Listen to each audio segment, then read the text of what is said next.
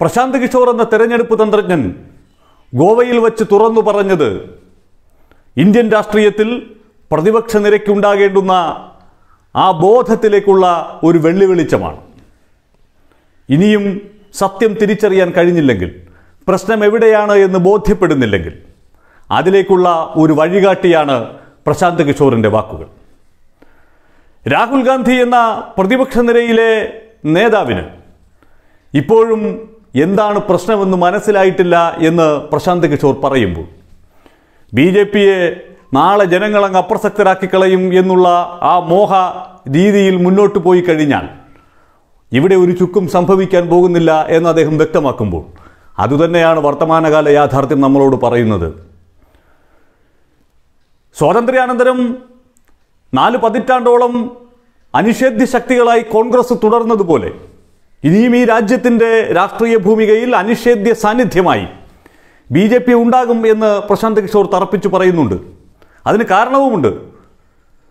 എന്തൊക്കെ ജനദ്രോഹ നടപടികൾ ചെയ്താലും ഈ രാജ്യത്തിന്റെ മതേതരത്വവും ജനാധിപത്യവും ഇല്ലാതാക്കുന്നതിന് വേണ്ടിയിട്ടുള്ള കൊണ്ടുപിടിച്ച ശ്രമങ്ങൾ നടത്തിയാലും ഇതിനെ ഒരു ഹിന്ദുത്വ രാഷ്ട്രമാക്കി മാറ്റാൻ ശ്രമിച്ചാലും ഒന്നും ജനങ്ങളുടെ ഇടയിൽ നിന്ന് ബി ജെ പിയെ അത് പൂർണമായി പറിച്ചു കളയുന്നതിനുള്ള കാരണമായി മാറുന്നില്ല എന്നുള്ളതാണ്.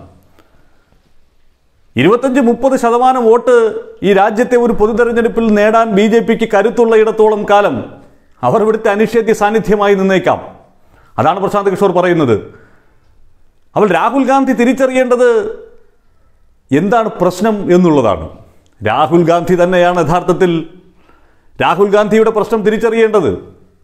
ജനം ഇവരെ ഇപ്പോൾ തന്നെ അടിച്ചു പുറത്താക്കി കളയും. ഞങ്ങൾ അടുത്ത തെരഞ്ഞെടുപ്പിൽ അധികാരത്തിൽ വന്നു കളയും എന്ന് വെറുതെ വീമ്പ് പറഞ്ഞിട്ട് കാര്യമില്ല എന്നുള്ള സൂചന തന്നെയാണ് പ്രശാന്ത് കിഷോർ നൽകുന്നത്.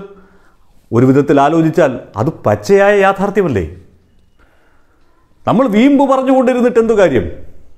ഇപ്പോൾ കേരളത്തിലും തമിഴ്നാട്ടിലുമൊക്കെ ഒരുപക്ഷെ ബി ജെ പിക്കെതിരായിട്ടുള്ള വലിയ വികാരം അങ്ങനെ തന്നെ നിലനിന്നേക്കാം. അവരെ കച്ചിയിൽ തൊടിയിക്കില്ല നൂറ് ശതമാനം ഉറപ്പ്.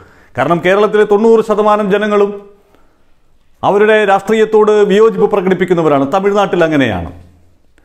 പക്ഷെ അതിനപ്പുറത്ത് ഉത്തരേന്ത്യയുടെ രാഷ്ട്രീയ ഭൂമികയിൽ വളരെ കൃത്യമായി ദേശീയതയും മതരാഷ്ട്രീയവും അജണ്ടകളാക്കിക്കൊണ്ട് അവർക്ക് മുന്നോട്ട് പോകാൻ സാധിക്കുന്നുണ്ട്.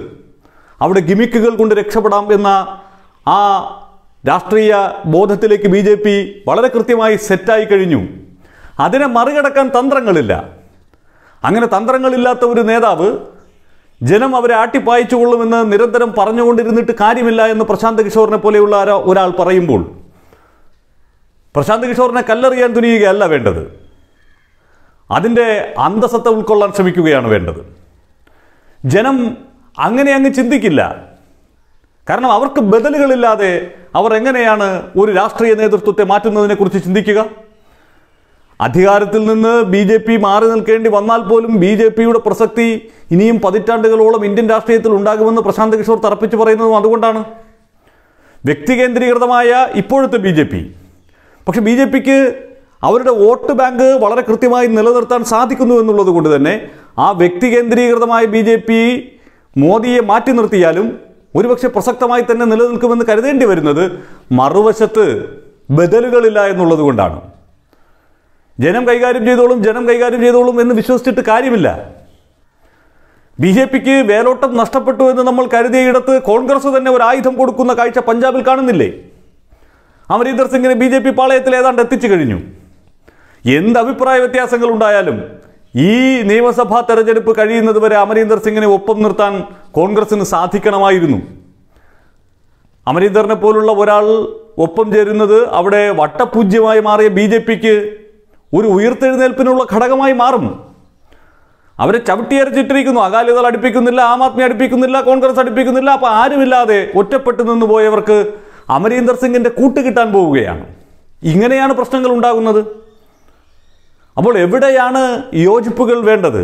എവിടെയാണ് തിരുത്തലുകൾ വേണ്ടത്? എവിടെയാണ് പ്രശ്നമുണ്ടായിരിക്കുന്നത് എന്ന് തിരിച്ചറിയാൻ നേതൃത്വത്തിന് കഴിയാതെ പോകുന്നു എന്നുള്ളതാണ് ബി ജെ പി ഇനിയും പ്രസക്തമായി നിൽക്കും എന്ന ആ പ്രസ്താവനയ്ക്ക് അതിനുള്ള വിശദീകരണത്തിന് പ്രശാന്ത് കിഷോറിനെ പ്രേരിപ്പിക്കുന്നത്.